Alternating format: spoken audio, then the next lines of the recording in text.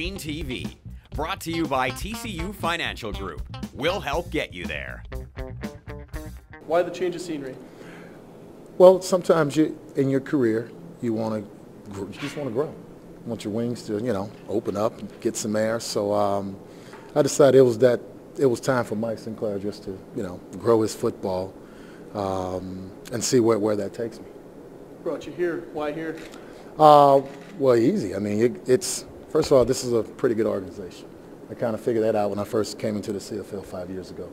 Um, you know, they got great fans. Um, it's a pretty good football team. Place, you know, you got your what Rider Nation, you know, um, that everyone's in towns knows about football, um, and I think it's a good place to grow your football. That's why. How would you describe your coaching style? Um, well, first of all, I'm a people's person.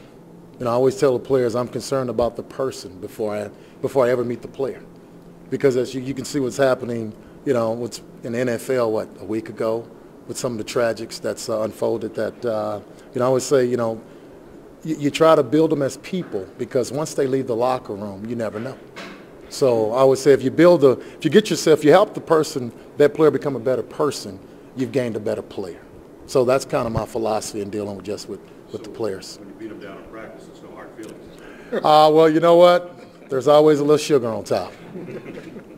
What do you think of the talent of that position the Riders have? I think they got a pretty good front. You know, I, got, I think they got some guys that uh, can get after the quarterback. Um, you know, I've uh, seen, you know, whether it's Shologan, uh, whether it's Odell Willis, whether it's George. Um, you know, I'm pretty familiar with them because in an 18 league, you can it's, it's intimate. You can know all the players. It's not like the NFL where it's 32 teams where you may only know maybe three or four teams. But I think it's easy to keep up with the personnel with just it being an 18 league. Would you like to work with Odell? Um, well, that's that's that's Corey's department. You know, of course, I would like him back, but uh, you know, I don't know the ramifications of his contract, or you know, you know, I haven't talked to him yet. So, uh, but yeah, I would. What about being an assistant head coach? How important is that to you? Well, I think it, it, it's it's real important because you're carrying Corey's vision for the football team, uh, and I think it's it's important in terms of philosophically being on the same page. Um, you know, back in the, coming in here, not trying to do anything different, but building what's already here, here, making it grow. So, um, you know, I, I won't just be speaking to the front. I'll be speaking to the whole team. So, um, you know, I'm, I'm, I'm, I'm thankful. Uh, I'm very appreciative. Uh, but it's, it's, it's not just speak to the D-line. It's the whole team. So I have to be with Corey more, you know, be around him. Um, you know, like I say, the vision, last night we went out to dinner. It was like, okay, continue to, to explain to me the vision of the football team.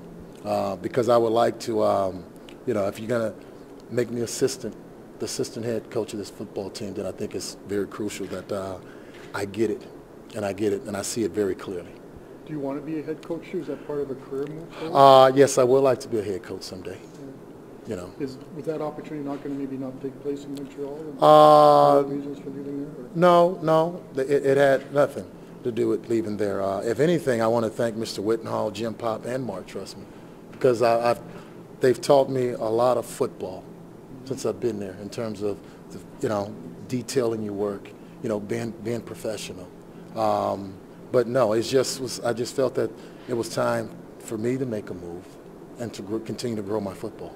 You kind of, did your relationship with, with Corey factor into that decision when you were choosing where to go? Well, I think when you're taking phone calls uh, and you're making phone calls, you know, your, your deal is you're listening to people. And me and Corey, has we've talked, you know, for years about, you know, upfront play.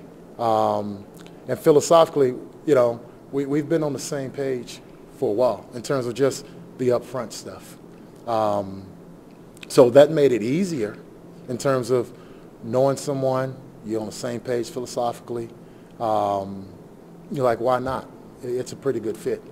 Could you have, you had interest from other teams? Because we're looking at your, I'm looking at your call to that team. You might have, Well, I've heard my name associated with A lot of stuff, whether it was Hamilton, okay, I'm going to go to Toronto because Scott Milanovich is there, and that's where, you know, I end up coaching with him. But, uh, no, it just came down to, you know what, what fits Mike Sinclair at, at this point in his career.